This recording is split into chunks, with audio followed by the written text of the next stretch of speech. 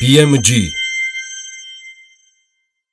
ეროვნული ბალეტის სიხშულების კიდევ ერთ გამორჩეულ წევრს უნდა ვუმასპინძლო, რომელსაც მარტივი კალკულაციით 100-ზე მეტ ქვეყანაში 60 მილიონზე მეტი მაყურებელი ყოლია და რომელიც ჯერ ჩიხტი კოპითა და გრძელი თმებით წარს გამაყურებლის წინაშე, შემდეგ კი თავგადაპარსული და ცეკვავდა განსხვავებულად და ვითარდებოდა ყოველდღიურად. მოკლედ, მე რომ ბევრი არ ვისაუბრე, საინტერესო, ექსტრავაგანტული და განსხვავებული თათია უკლება არის ჩვენთან ერთად. გამარჯობა. თათია, პირველ რიგში დავიწყოთ, რამდენად მოგწონს ექსპერიმენტები ტრადიციულ ქართულ ხელოვნებაში და როგორ აფასებ გამარჯობა ძალიან დიდი მადლობა მოწვევისთვის და ესეთი კომპლიმენტისთვის. და რაც შეეხება ექსტრავაგანტულობას მე მგონი მეტყობა. ძალიან მოვწევს პირველი.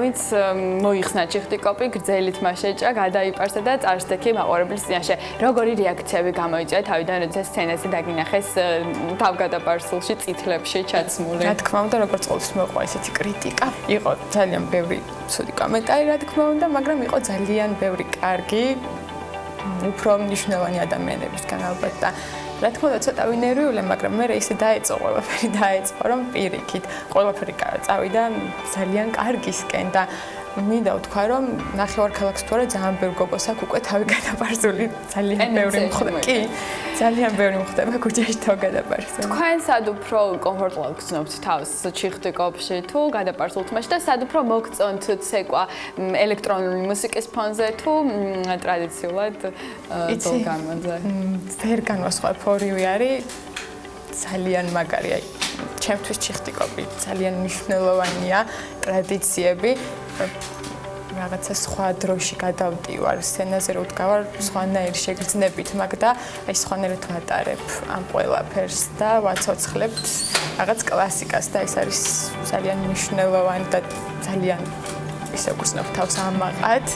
და რაც შეეხება ამას მოგცა განვითარების საშუალება და ძალიან გვიხარია ყველას და თავისი მხარი აქვს ძალიან მომწონს ძალიან თავისუფალი ვარ ჩიხტიკოპში ხარ უფრო ჩარჩოებში და უნდა გააკეთო რაღაც ანუ დადგენილია რომ ეს თუ არის 1 2 და უნდა იყოს ესე და ყველა მიცის და რაც შეეხება სხვა პროგრამებს იქ გეძლევა მეტი თავისუფლება. აი ნანუმაც თუნდაც ისეთი კოსტიუმები შექმნა, რომ გაძლევს სილაღეს, თავისუფლებას მოყვება მოძრაობებში და მეტად გამოხატავ შენს ემოციას და ხასიათს. იქ თუ თქვა ცეკვავოს სურს გადავჭი ხტი და უნდა იყოს სიქალი მკაცრი.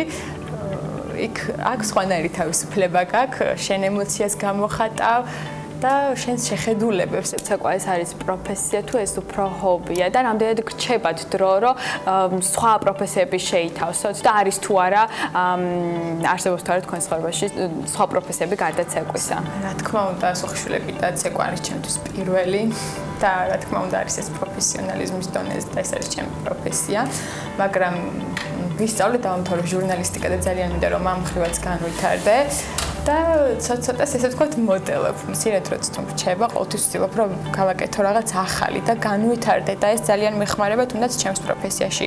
უახლოს კონცერტზე უნდა გკითხო აუცილებლად, რა პროგრამით წარსდგებით? იქნება ეს ელექტრონული ისე თუ ტრადიციული ზღიშვილები? 22 დეკემბერს გვაქვს კონცერტი ფილარმონიაში. ეს იქნება კლასიკური პროგრამა, ძალიან ძველი, ეს არის სოლიკოვი სალაძის იუბილე.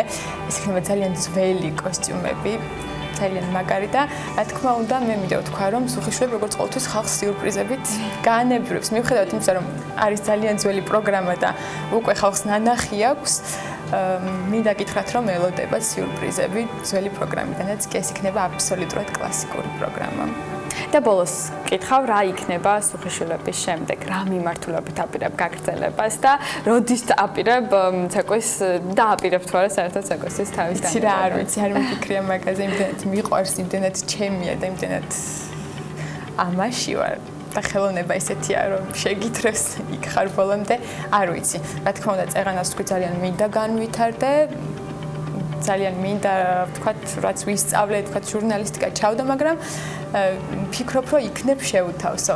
ქორეოგრაფიის მიმართულებით გიფიქრია თუ არა? არ ვიცი, არა, ეხლა მე რასაც ვუყურებ იმდენად რთულია ჩვენს ბიჭებს, ჩვენს გოგოებს, რომლებიც არიან ქორეოგრაფები, იმ ხელანერვები ჭირდება, იმდენად რთულია ბავშვებთან მუშაობა, ჩადო შენი ენერგია, ასწავლო ყველაფერი სწორად, გააკეთო, აღზარდო. არ ვიცი, ურთულესია და მადლობა მათ და წარმატებები არ ვიცი, შევძლებ თუ არა, ძალიან რთულია. მადლობა თეთია საინტერესო საუბრისთვის და სტუმრობისთვის.